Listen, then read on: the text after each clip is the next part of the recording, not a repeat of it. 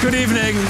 Welcome here, welcome at home for this very special event. Our guest tonight is one of the most successful, most renowned writer of uh, legal thrillers in the world. His first book came out in 1988, A Time to Kill, and since then he has published a book every year. He has sold over 300 million copies of his books worldwide, and recently this book was published. It's called in English The Guardians, in Dutch translated into De Onschuldigen.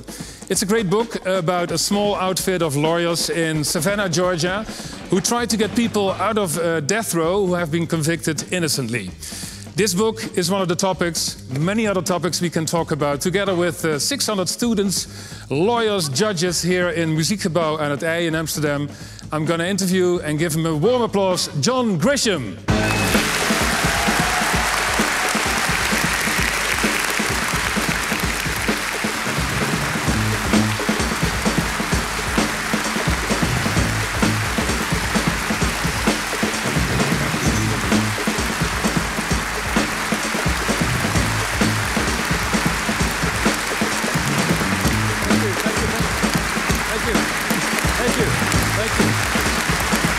Thank you, Florent. Here you go. Thank you, sir. Welcome. Take a seat.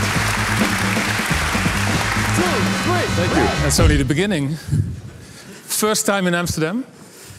First time, yes. Why? What took oh you so long? Oh, God, don't start that. Uh, it just it took a long time. Yeah? A lot of reasons, but uh, don't travel a whole lot. No? Like to stay at home. You know, and write and write and write. You, you do, but I, I don't know if this is true, but do you travel with your own private plane? Sometimes, uh, not this trip. Not this trip. I was just wondering because if you have a plane, it must be great to go everywhere you can go to. Yeah, but after you you know, after a while, we um, we got to where we prefer to stay at home. I think the older I get, the more I want to stay at home. Yeah? Yeah. Virginia? I'm 64 years old, and I've you know, been traveling a lot for 30 years. It's, it's fun. Uh, it's also uh, gets to be kind of tiring, tiresome, and I like to stay at home. Where do you write when you are at home? Do you have a little shed or something where you like to sit and work? First of all, it's great to be in, in, in Amsterdam for the first time ever. Uh, I have thoroughly enjoyed uh, walking around your city, and it's charming and uh, hospitable and beautiful. I called my wife when I got here Sunday, and I said, um, "Dear, I'm in a beautiful hotel in the red light district." and she wasn't too pleased to hear that. But No? I said, "This- "It's very nice. The great hotels, great restaurants, coffee shops, uh, bookstores. It's, it's very lovely." What did So- you do today? uh, hiked uh, across the city for hours and went to the museums. And, Which uh, one did you visit?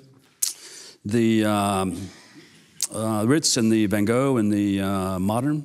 Uh, so had a busy day. Yeah? Um, you, normally I travel with my wife, uh, and we love to do uh, the museums and galleries and things like that. But she couldn't make this trip. Uh, but I promised her she was going to come back. So we'll be back soon to, to so she can see Amsterdam. Perfect. Yeah. We'd like to have you here. Uh, I'll be back. It won't take 25 years, okay? okay. I write uh, in a small office, uh, a small building behind. uh, we live on a farm in in, um, in very rural Virginia, in the in the horse country. It's an old house uh, by our standards, not by yours. It's only 250 years old, which is nothing around here. Um, but the uh, it's a small office, and I write there um, most every day.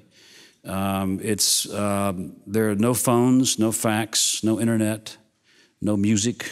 I work offline because um, I know some writers who have been hacked and their stuff stolen. That happens, and I'm paranoid of the internet, and I don't I don't spend much time there. No? Yeah. Um, So you have a computer that's not connected to anything. I have a computer I work on basically for word processing. And um, now, when I go to the house, which is about 20 feet away for a coffee break, um, I have a laptop there that's plugged into the world, and that's how I communicate with uh, everybody else. But I, But why are you paranoid? Why, do, why are you afraid for the internet? because nothing is private. Google does nothing but uh, collect your data to sell it.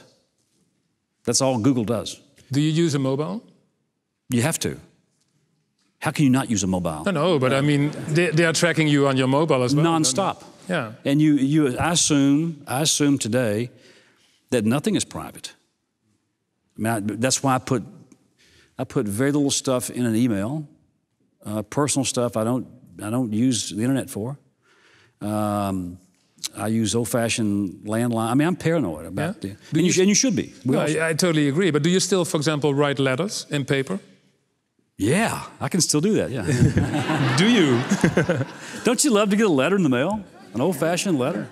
I write those all the time. Yeah. And um, yeah, I prefer that. Email's great for quick stuff, but nothing of substance or nothing, uh, you know, financial or business or whatever. I, I never, I can't say I never do it, but I try to avoid that because I'm paranoid. Right. And we should be.